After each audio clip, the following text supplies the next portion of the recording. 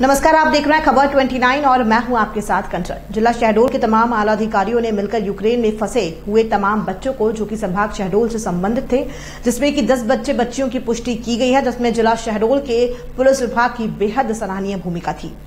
DIG Shahdol Sagar साहब के नेतृत्व में और एसपी साहब गोस्वामी जी और एसडीएनएल अधिकारी मुकेश वैश्य शहडोल ने अच्छी भूमिका निभाई और यूक्रेन में मुसीबत में फंसे हुए छात्रों को बड़ी मेहनत, मशक्कत से उनके अभिभावक से जानकारी लेकर उनसे कांटेक्ट किया और हमारे जिला शहडोल के पुलिस प्रशासन ने बहुत बड़ी कामयाबी हासिल की, जिसमें कि हमारा चैनल खबर ट्वेंटी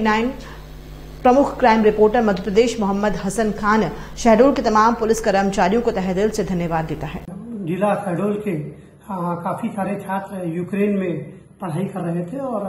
वहाँ पर वर्तमान परिस्थितियों के मद्देनजर जानकारी एकत्र की गई तो लगभग नौ छात्र छात्राएँ हमारे वहाँ पर यूक्रेन में फंसे हुए थे और हम लोगों ने